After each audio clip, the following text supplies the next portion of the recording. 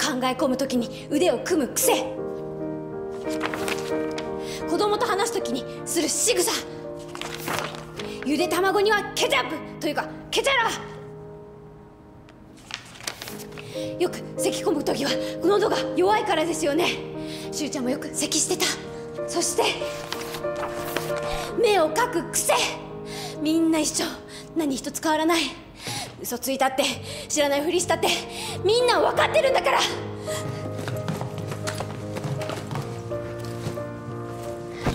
中でも一番の証拠は私が持ってきたこの写真と。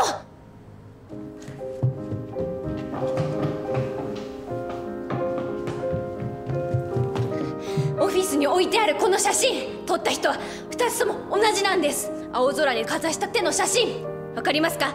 血管の浮き出方シワの形ほくろの位置みんな一緒なんです。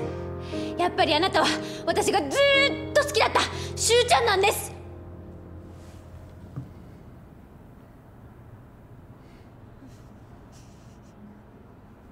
ああそうだよ。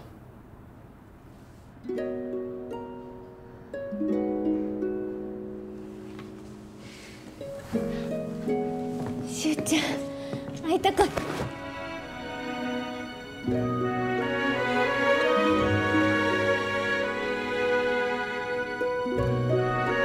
するわけないだろ。え？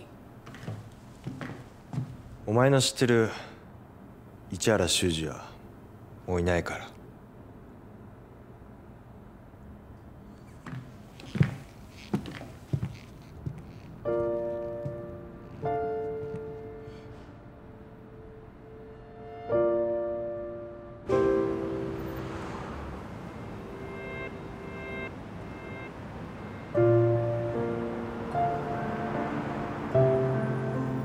触れそうで触れない数センチの距離は近いようで遠く感じるから余計に寂しい。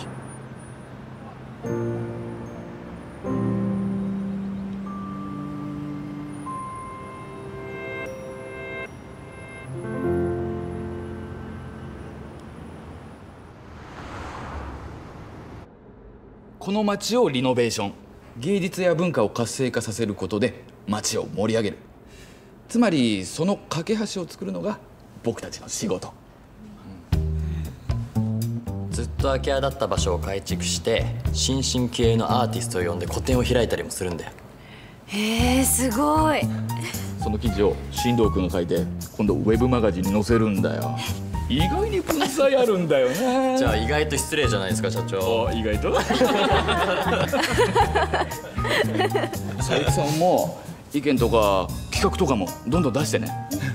あもしかしてもう思いついちゃってる。あいえあ大変申し訳ありません。まだあのそういうことは。社長最近そういうの真に受けるタイプなんで。ああぽいね。ごめんねごめんね。大丈夫全然お疲れ様です。ああお疲れ様です。お疲れ様です。そろそろ仕事に戻るか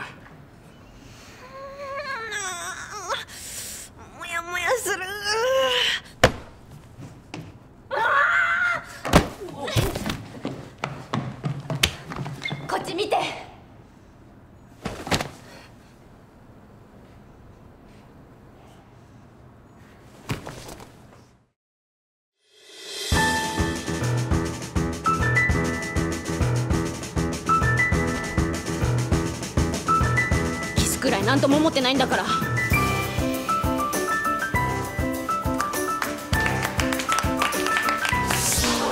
そんなこと私ができるわけないしな。じゃああとはよろしくね。はいじゃあ仕事仕事。行きましょう。佐伯？取材行けるか？うん支度するねよし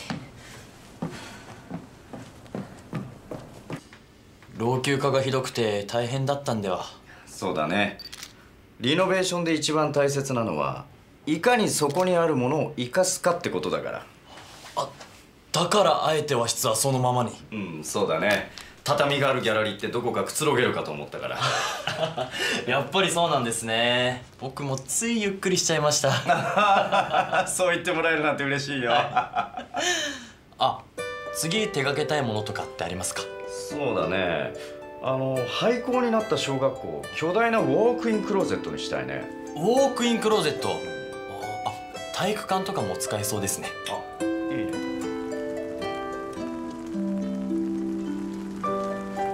新たってかっこいいね。は？建築家の大島さんと対等に話してるところ見て思った。仕事できる大人って感じでもしかしてそれって俺はいつもちゃんとしてないってことか？そうだね。なんだよそれ。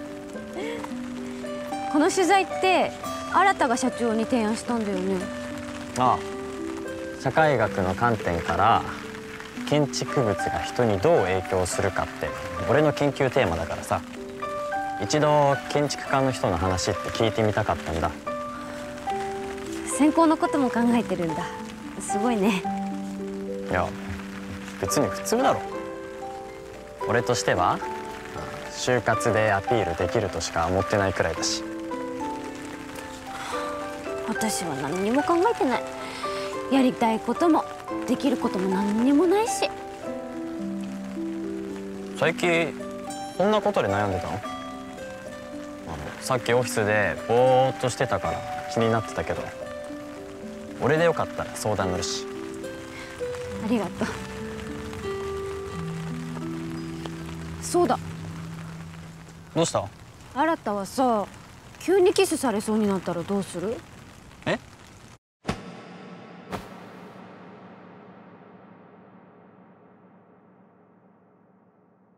こんな感じで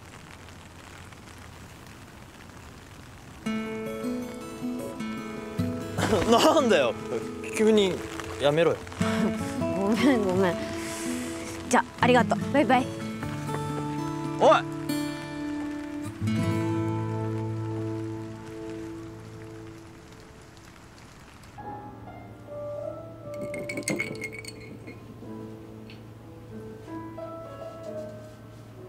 気になる。何がですか？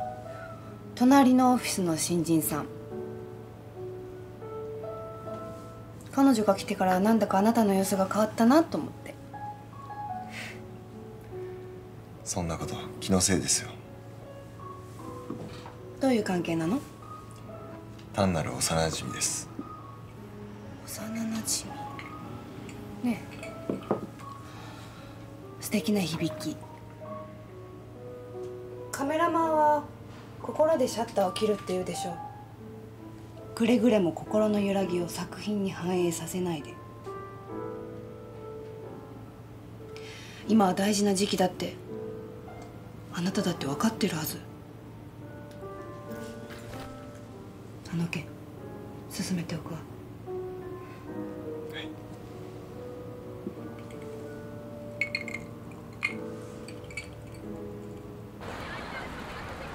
リコの様子が変？バイト中も上の空だったりするしなんか気になって。